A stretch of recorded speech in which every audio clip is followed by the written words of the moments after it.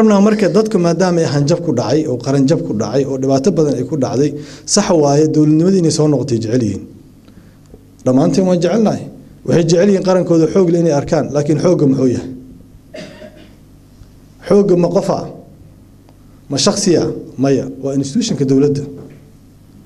Waa dalka britain oo kale. Waxaan hiigsanayno goortaan gaarayn ilaha oga waa britain oo kale. Maxaan u hiigsanaynaa institutionka iyo sharcigaa sarreeya prime ministerka waddanka maxaa lagu sayay maalidooda waa la socotiin. Markuu damca inuu baarlamaan ku sameeyo si muddo ayna u hakiyo maxaa la sameeyey? Maxkamaddaa la tegey soo ma ahayn? Maxkamadda markay tageen maxay ku sameeyeen? Adeer raalli hawaa liyi baarlamaanka waa shaqayna. Institutionkaasaan u baahanay annaga madaxa bannaan. Kuwaasaa xoogga waa kuwaas. Xoogga boris johnson ma aha. Xoogga jeremy corben ma aha xoogga waa baarlamaanka ingiriiska waa maxkamadaha ingiriiska waa dastuurka ingiriiska aan qornayn waa sharciga sarrayntiisa waay xoogga taa u sugna annaga taas waaye. Maalintaa ay tusto in guddoomiyaha maxkamadda sare ee soomaaliya isagoo madaxa bannaan soo ma maqlina sheekh shariif sheekh axmed waxinihii hore inuu dacwad geysta maxkamadda. Wax ka hadlaa maad aragteen? Hadduu maanta guddoomiyaha maxkamadda sare dacwada inta qaado waxaa la yidhahdaa injection uu sameeyey madaxweynaha. Waxaa la dalbada waxaa la yidhahdaa injection qaraar idaari ah.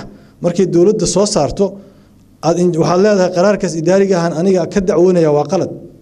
Afar labaatan saac hadduu u bato afartan sideed saac u qaataa? Dadka sharciga yaqaanaa yaqaana injectionka ilaa hadda waa iska yaallaan. Sababtoo maxaa garsoor ma geli karo guddoomiya maxkamadda sare. Waan ognahay. Sida lagu magacaabaa la ogyahay. Sida lagu keenaa la ogyahay. Shaqada in beri laga eryaha la ogyahay. Maxaa looga eryahay sababtoo madaxweynaha magacaabay sharcigan muxuu qoraa dastuurka inuu guddiga adeega garsoorka ee madaxa bannaan oo magacaabo guddoomiyaha maxkamadda sare soo u noqdo qof madax bannaan oo shaqada madaxweynaha reer wasaaraha uga qaadi karin. Waa la dhinac maray soo maa waa la dhinac maray. Haddii maanta marka guddiga adeega garsoorka uu jiro oo asaga magacaabi lahaa guddoomiyaha maxkamadda sare guddoomiyaha maxkamadda sare wuxuu ahaa lahaa qof xor ah oo go'aankiisa gaari kara sababtoo kama walwaleen in xilka laga qaadayo. Laakiin hadda wuxuu ka walwalsan yahay in xilka laga qaadayo. Annaga marka waxa aan u soconno waxaa waaye ood arkaysaan haddaan wada jirnahay oon u taagannahay oo maalinta ugu horreysa u taagnayn waxaa waaye in wax la soxo in dowladnimada si qalada loo qaranka aan mar dambe si qalada loo dhisin. Haddaba si qalad loo dhiso xatman waaye sunna kowniya la yidhaahdaa waa duma sunnada kooda maxaa waa natural lawska waaye. Baabuurka haddaa shidaa la'aan wado muxuu sameynaa ilaahayo baabuur shidaa la'aanaa jidka ku wadaa. Ilaahay waa kuu sheegay baabuur shidaa la'aan ku soconaynin. Waa soo xirmaysaa baabuurka waa istaagaya. This a natural law la yidhaahdaa. Haddaa si qalada mar dambe qaranka u kabno waa dumaya. Annaga waxaan ka hortaaganahay waa dumid. Doorashada labaiyo tobanka december waddankan ka dhacaysaa soo maa arbacada koowaad ee isbuuca ugu horeysa hadduu johnson guulaystane jeremy corben arbacada time ku taagan yahay.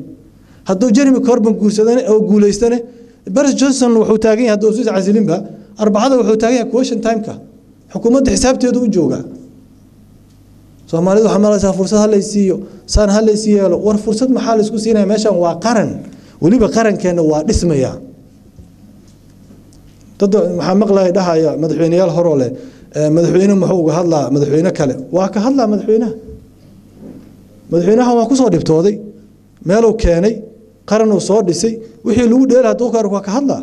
Xaquna uu leeyahay ninka ka tegey ka aamusana aa qaldan ninka ka tegey ee iska tegoo dalkii ka danaystaa qaldan manaha dadka inuu naqdiyo.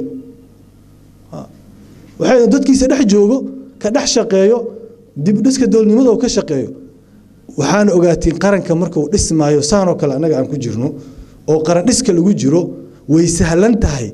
Qof inuu talada inta boobo meel qaadal nala aado. Aad u sahlan tahay. Haddaan la iska ilaalin. Haddaan dhufays loogu jirin way sahlan tahay. Nad maxamed cabdullahi farmaajo keliya maaha qof kasta saas yeeli kara